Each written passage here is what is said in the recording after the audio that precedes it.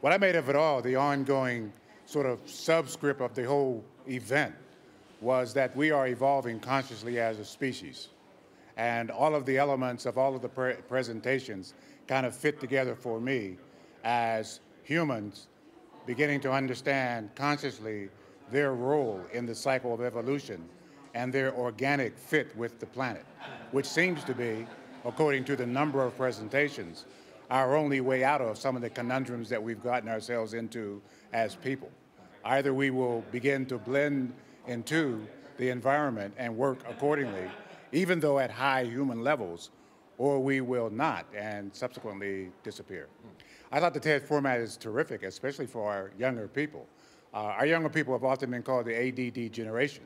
So to present these uh, nuggets of information and in such variety and complexity and simplicity, I think would fit right in their frameworks, uh, uh, right into their bailiwick of uh, intellectual grasp, if you will. At the same time, there has to be a kind of an ongoing narrative thread such that people could find themselves in that location and do something about it. And so therein, the, the narrative thread that I see is that it's very clear that we need to all hand, we need an all hands on deck approach to however we're going to evolve in the future. And I think our students, our students at Penn State Greater Allegheny, would love to be a part of that.